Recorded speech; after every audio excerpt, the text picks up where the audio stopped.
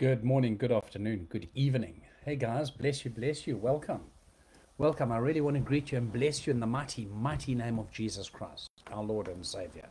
God is so good. I really mean this. I I just woke up this morning with with with a song in my heart. I'm sure you know it. It's called I live to worship you. I live, I live, I live to worship you.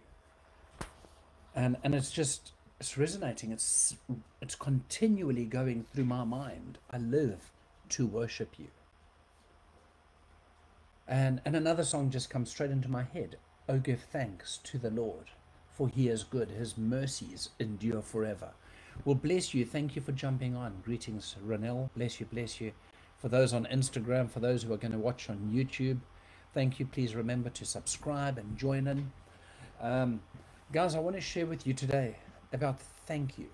Thank you. Something, something that uh, needs to be exercised much more than we do. Psalm 118, verse 29. Give thanks to the Lord, for he is good. His love endures forever. Well, when does the word thank you lose its power? When does the word thank you drop off and just become like you know, when it's done with a pure, sincere heart, it is actually received. And I'm just going to stop right there again. And I just want to, I just want to remind my precious sister Ronelle.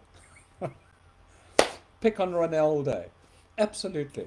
Well, we were in South Africa, living in Hillcrest, and Ronelle lived like, my gosh, over a hundred miles away, and she had pre-planned this. She went and made us some German cookies and on her way past us, well, not even coming past us, but on her way near us, she stopped, turned in, visited us, and blessed us. I haven't forgotten that. I'm telling you, they were the best ever. And Ronelle, I say thank you. Thank you. Now, I'll tell you what thank you does. Thank you makes you feel good. Not only the person receiving it, but when you give it.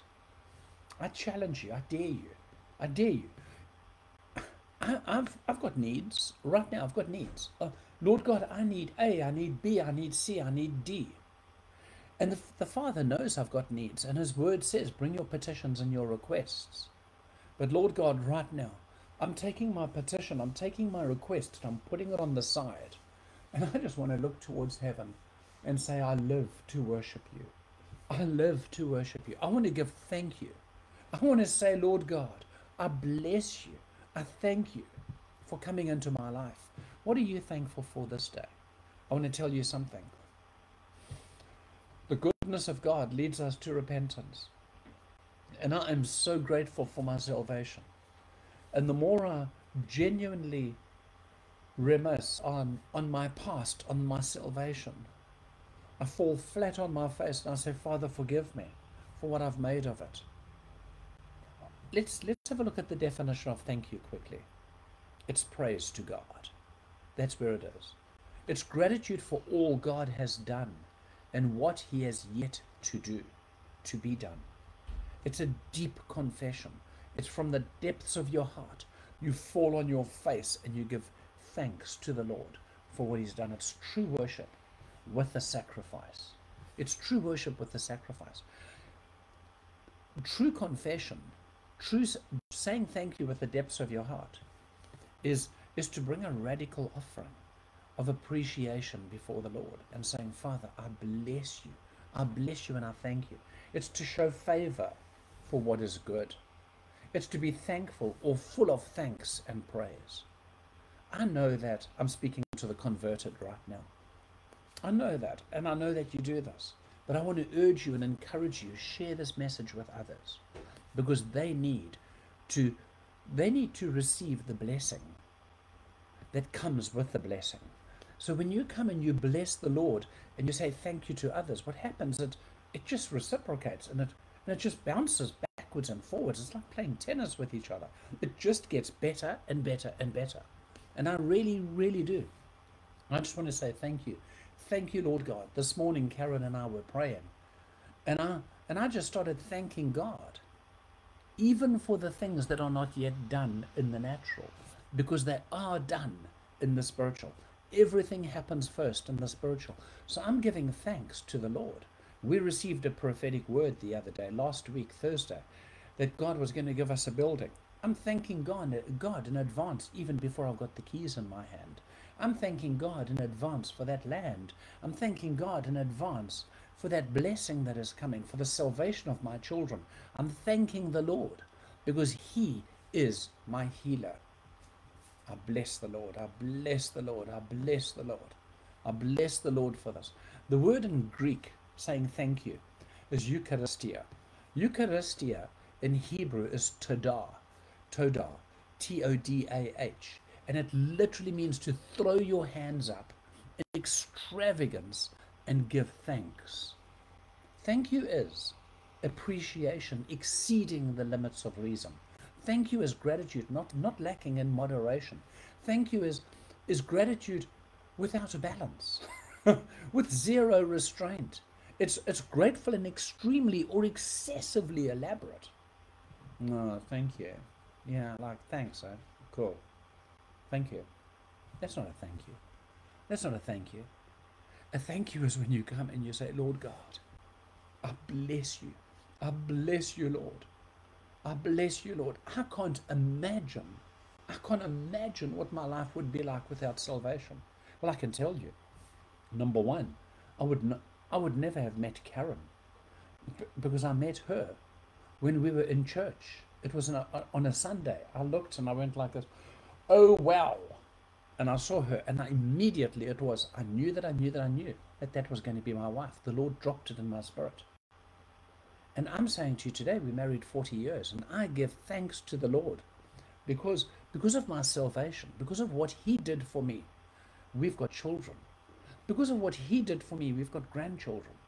I bless the Lord. Because of what He's done for me, I've got this ability to be able to share with you. I just want to say thanks to the Lord. I am grateful, extremely grateful, excessively grateful. I'm elaborately grateful, and I'm saying, Lord God, I just want to fall on my face before you. I, I just want to kiss your feet. I just want to say thank you, Master.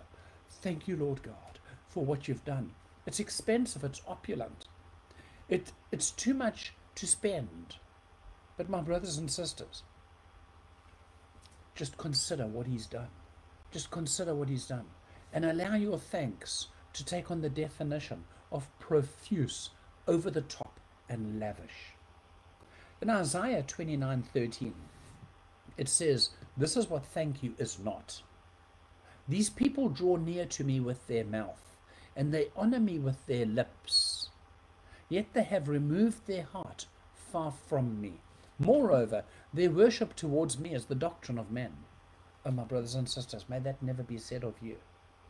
You say, Lord God, I'm going through such stress. I'm facing such challenge. It's so difficult correct, that's circumstantial. The devil knows his time is short. The devil knows his time is short, and the Bible says he's going around like a roaring lion, seeking whom he may devour, kill, destroy. But what are you called to do in the middle of the storm? Shadrach, Meshach, and Abednego did not pray for the fire to be removed. They worshipped God. Peter in prison worshipped God. Daniel in the lion's den worshipped God. Find the peace of Christ. Lift up holy hands in the valley. Lift up holy hands on the mountain and worship the Lord your God. Worship Him. Say, Thank you, Father. Thank you, Lord. I bless you, Lord. I bless you, Lord. The steps of a good man are ordered by God. I bless you, Father. I say thank you because you're going to take me through this. Salvation belongs to my children blessing comes to me. I thank you, Lord God, that I will worship you. I will worship you. Give thanks to the Lord for what he has promised you. What has he promised you? Life. In 1 John 5:12, God has promised you life, so thank him. God has promised you in Jeremiah 29 a plan for your future. Thank him. God has promised you in Philippians 1 purpose for your life. God has promised you in 2 Corinthians freedom for you. God has promised you in Romans 5 peace. God has promised you in Philippians 4 provision. God has promised you in Acts power. God has promised you in Philippians 4 again strength. God has promised you in Proverbs 16, verse 3, He will bless the plans of your hands. God has promised you in John 16 joy, and God has promised you in Isaiah 53 healing. Gosh, I can continue. God has promised you the ability to generate wealth with the works of your hands. Proverbs 8 18. God has promised you comfort when you go through trials and tribulations and you're, and you're sitting down crying. In Psalm 23, God has promised you in Psalm 23, verse 1, there will be no lack. In Psalm 91, God has promised you protection. God has promised to answer every one of your prayers in Matthew 21. God has promised you in Isaiah 41, He is your help. And in James chapter 4, God has promised you the romance and the dance through intimacy. James 4, verse 8 Draw near to God, He will draw near to you. My brothers and sisters, there's power in thank you. There's power in thank you. Let's focus right now on saying thank you to the Lord. I, I encourage you, I urge you, I, I ask you now to draw near. What does, what does saying thank you do? Saying thank you keeps your focus on the Lord. It keeps you humble and dependent. It takes your attention off your problem and it puts you on Christ, your Redeemer. It reminds you that God is the giver of good gifts and He adds no sorrow to it. It leaves no room for complaining. It gives you victory over the enemy. It opens the door for continued blessing. Thanksgiving heals the heart. The word of the Lord says it's good medicine. Thanksgiving ushers in his presence. Saying thank you gives praise and worship to God. My brothers, I want to pray this with you right now. My sisters, I want to pray this with you right now. And I urge you to verbalize this with me. I will speak slower, but say it with me. Please repeat this with me. Father God, sorry, I'm like just, I'm just overcome at the moment. I'm like, God is so good. God is so good. I thank the Lord. I thank the Lord for his goodness has brought me to salvation. I thank the Lord for he touched me, healed me, set me free. So I want to pray this with you. Please repeat this with me. Father God, I come before your throne of grace and I say thank you. Thank you for the amazing power and work that you are doing in my life. Thank you for your goodness and your blessing over me. Thank you for your salvation that you have given to me.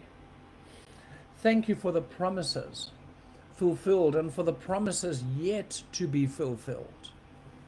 Thank you, Lord God, for the written word that has come to me. Thank you for your prophetic word that has come to me. Thank you for the hope that you give to me. Thank you for your great love and your care for me. Thank you for your mercy and your grace. Thank you that you are always with me and you will never leave me and never forsake me. Thank you that you are good enough for me. Thank you, Lord, that healing is my portion. Thank you, Lord, that you are my provider. Thank you, Lord, that you are my foundation. Thank you, Lord, that you are my banner.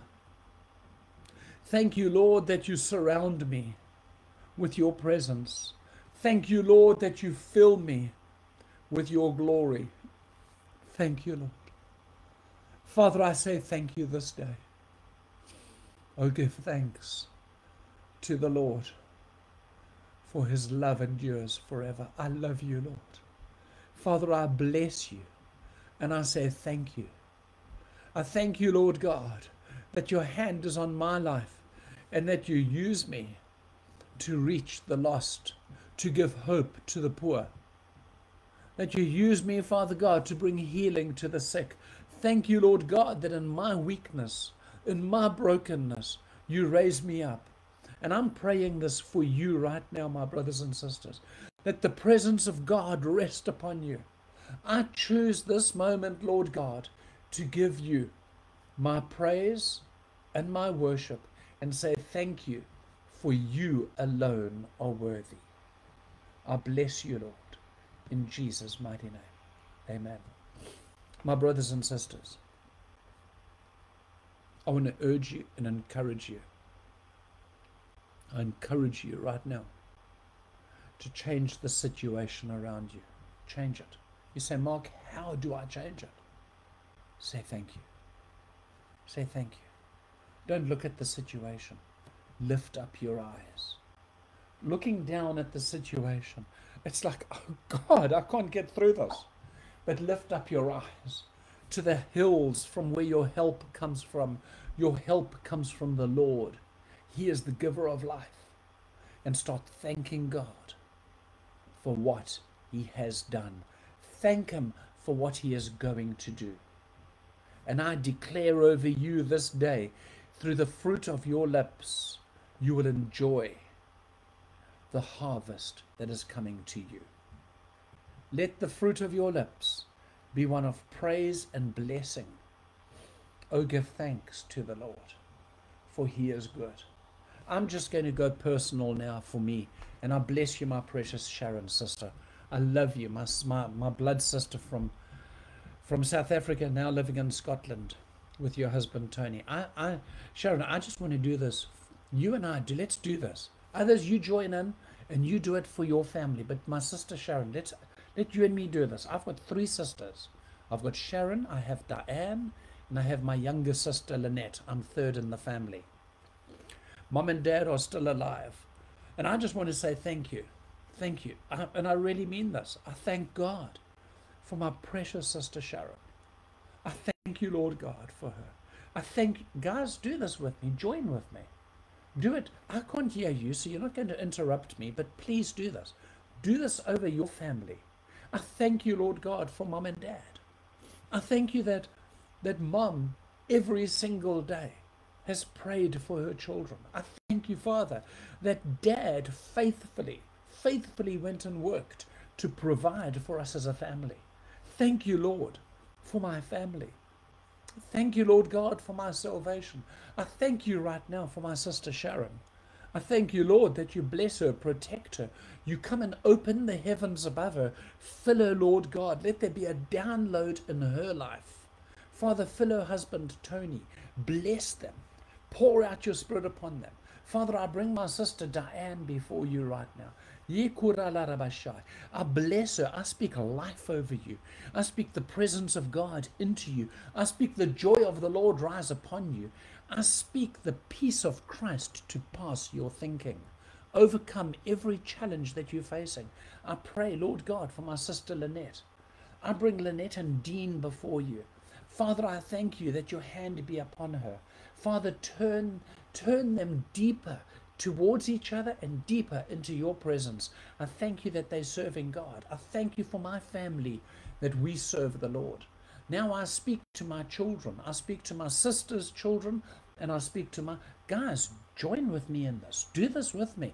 The power of thank you has, has an amazing reward. It immediately brings the blessing of God.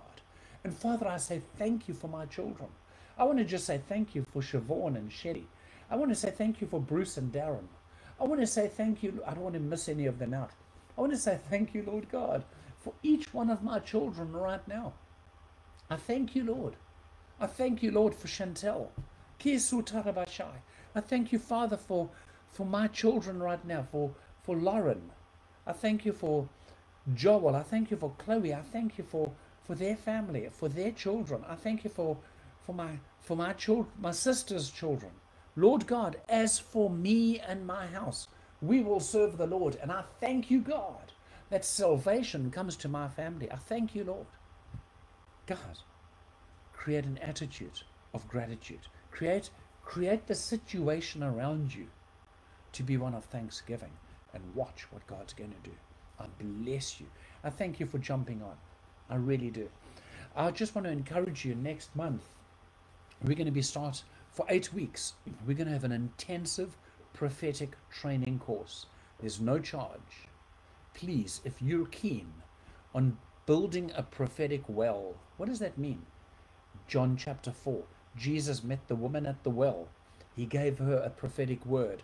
That woman jumped up, ran into the city, told the people of the city, I met a man who told me everything, brought those people out, and they all became followers of Christ. One prophetic word can set a city free. And I believe God is calling Karen and I to ignite people to start prophetic hubs, to to start prophetic wells in their own home. We want to get behind you in this. We want to support you in this. We've got truckloads of material. We've, and we will help you and enable you and support you. We don't want to take ownership of it. We want to endorse what you want to do.